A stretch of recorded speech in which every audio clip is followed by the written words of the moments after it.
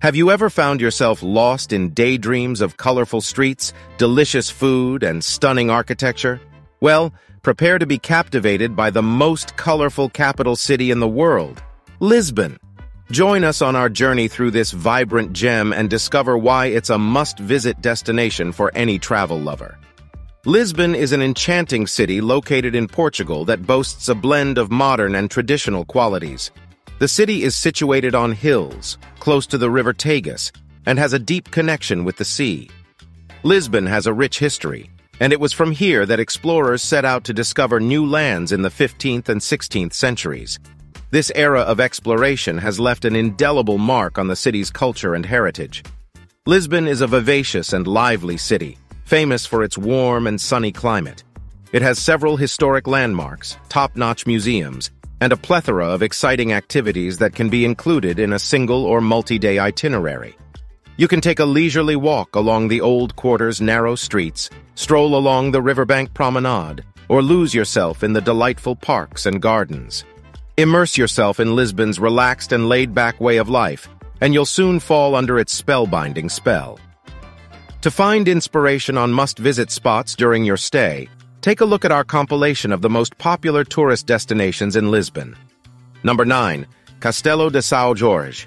An iconic landmark, St. George's Castle is a highly regarded attraction in Lisbon, situated atop a hill near Alfama. Its location offers breathtaking views of the city. The castle is a well-liked destination among tourists, featuring impressive battlements, an interesting museum, and an intriguing archaeological site. It's a great spot for families, with kids sure to enjoy exploring the castle's sturdy walls and towers. This site has been occupied since the Iron Age, and later a castle was built which was defended by the Moors against Christian invaders. However, in 1147, Afonso Henriques overran the castle and built the Alcáçova Palace, which became the residence of subsequent monarchs until a new royal residence was built near the river. Visitors mostly come to admire the fantastic views from the observation terrace, which offers uninterrupted views of the city, the Tagus River, and the distant Atlantic Ocean.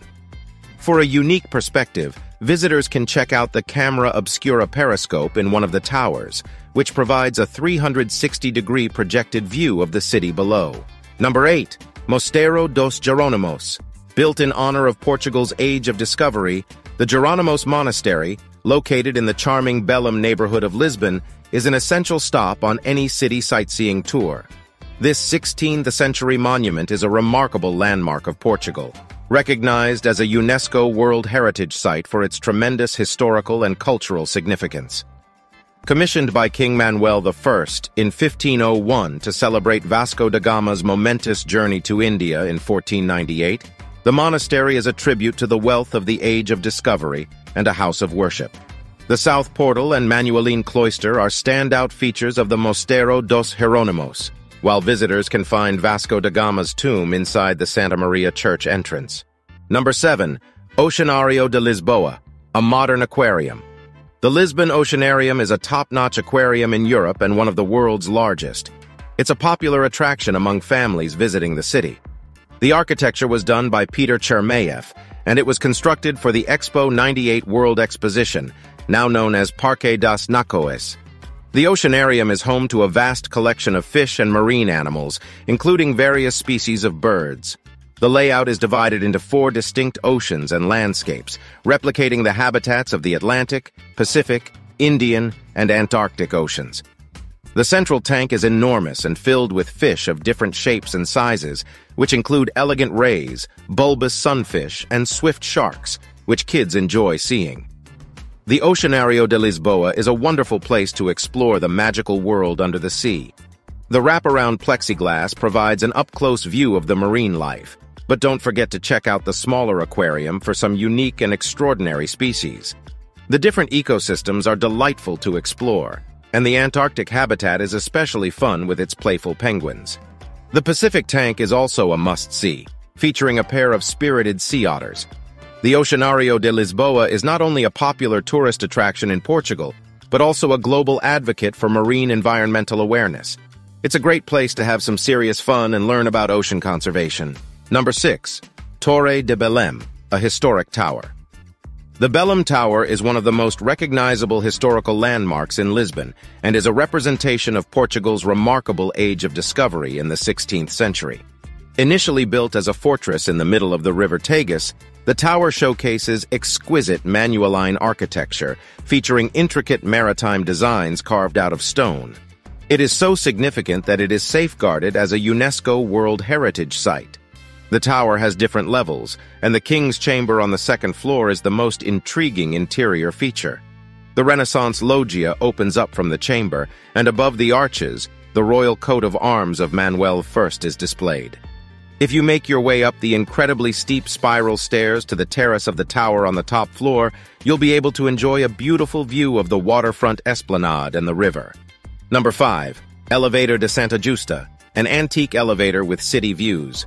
The Santa Justa lift is an unusual sight amidst Lisbon's Baixa district. It is a neo-Gothic elevator that stands out with its riveted wrought iron frame and battleship gray paint. It is a unique means of public transport in the city that was designed by Raoul Mesnier du Ponsard, an apprentice of Gustave Eiffel, and inaugurated in 1901. The elevator connects the Baixa with the Largo do Carmo in the Bairro Alto neighborhood, which is a popular area with expensive shops, fado houses, and small restaurants. Today, the primary visitors to the top of the 32-meter-high tower are tourists who are curious to explore the wood-paneled cabins that still have the original polished brass instruments. The cabins make their way to a platform located just below the top terrace, making it easy for passengers to exit and walk across a bridge into Bairro Alto, or climb the spiral staircase that leads to the upper terrace. The breathtaking views from the top offer a spectacular view of the urban landscape, including pedestrianized streets, picturesque squares, and the iconic castle and River Tagus. You can also get a stunning perspective of the nearby Igreja do Carmo. However, be prepared for long queues during the summer months. Lisbon offers yet another unique way to get around the city with the Elevador da Bica, this funicular railroad was built in 1892 by Raoul Mesnier de Ponsard and still operates today, taking passengers up to a stunning viewpoint on Rua da Bica de Duarte Belo. The funicular's lower station can be found behind a facade on Rua de S. Paulo, marked with the inscription Ascensor da Bica. While in the area, it's worth exploring the charming and peaceful Bica Quarter, which runs from Calçada do Combro, Rua do Loreto down to the Tagus. Due to its hilly terrain, narrow streets, and tightly packed buildings, this area sees very few cars. Number 4. Padrao dos Descobrimentos, a tribute to the Age of Discovery. The Belém waterfront is dominated by the Monument to the Discoveries, a massive structure that leans over the river Tagus and resembles the prow of a caravel. This monument was purposely designed to commemorate the 500th anniversary of the death of Henry the Navigator and it does so by showcasing a frieze of statues featuring prominent personalities from the golden age of discovery. The figures represented include Vasco da Gama, Fernão de Magalhães, and Pedro Alves Cabral, with Henry himself standing at the forefront holding a caravel. After taking a moment to appreciate the statues, visitors can easily ascend to the top of the monument via elevator for a breathtaking bird's-eye view of the riverfront and surrounding area. Down below, there is an impressive compass embedded into the esplanade. This mosaic map showcases the locations and dates of new lands that have been discovered, making for a unique and memorable photo opportunity in Lisbon. Number 3. Day Trip to Sintra Sintra is a must-visit destination when you are in Lisbon. It's just a 40-minute train ride from the city center, and the trip is worth it. The town has a romantic ambiance with regal royal palaces, mysterious mansions, and a mighty Moorish castle dating back to the 8th century. The historic old town, Sintra Vila, is a delightful configuration of colorful and ornate townhouses, decorative cafes, and traditional restaurants. It was once the summer retreat for the kings and queens of Portugal, and is now a World Heritage Site. Sintra is truly a majestic destination that deserves a spot on your itinerary. The Sintra and Cascais small group day trip from Lisbon is an all-inclusive tour that takes you to the most popular attractions of Sintra and the former fishing village of Cascais. During the eight-hour small group tour, you will get a chance to explore the beautiful Sintra National Park, visit the magnificent Pena National Palace and Sintra National Palace, and experience a thrilling drive along the Atlantic coast. Number 2. Arco da Rua Augusta, a triumphal arch. The Praça do Comércio Square in Lisbon is an impressive sight, especially when viewed from the Arco da Rua Augusta. This landmark arch, located at the northern edge of the square near Rua Augusta, was designed by Portuguese architect Santos de Carvalho to commemorate the city's reconstruction after the 1755 earthquake. Inaugurated in 1873, the arch features a terrace with an allegorical statue of glory, as well as statues of national heroes like Vasco da Gama and Marquês de Pombal. Recently, the public has been allowed to visit the top of the arch for a breathtaking view. Visitors are directed to an elevator that takes them to the top, followed by a steep spiral staircase that leads them to the terrace. From the terrace, one can enjoy the majestic view of the south, stretching over the square and the river. Turning towards the north, the stunning vista of Rua Augusta and the entire downtown district of Lisbon can be seen. Additionally, a mechanical clock made in 1941 strikes at hour and half-hour intervals. The clock's intricate mechanism, located inside the arch, can be admired along with an illustrated panel that outlines the arch's historic timeline. Number 1.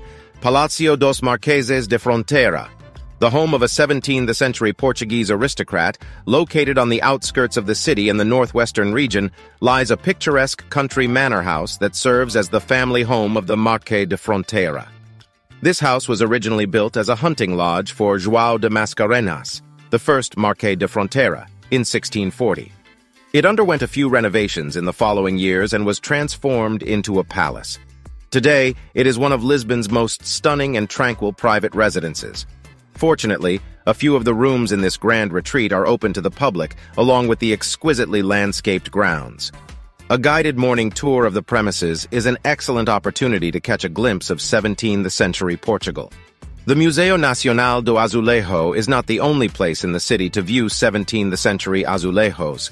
The palace is also a great spot to marvel at outstanding examples of tile work, particularly in the Sala das Batalhas, Battles Room. The room features wall panels that depict scenes from the War of Restoration, which was a long and brutal campaign to free Portugal from Spanish rule. The level of detail is impressive, providing a vivid portrayal of the battles that eventually led to the country's independence from its occupier. While the palace is not a museum, tours are available and offer informative and discreet access to additional areas such as the lounge, library, and dining room. These areas are adorned with unique Amsterdam tiles adding charm to the palace. Art historians may spot some notable pieces, including the Pellegrini portrait. The tour covers a visit to the formal gardens that are adorned with subtropical flora, providing a refreshing escape. The gardens also house the King's Gallery, a terrace showcasing decorative niches with busts of Portuguese kings. Adjacent to it is a large pond teeming with carp.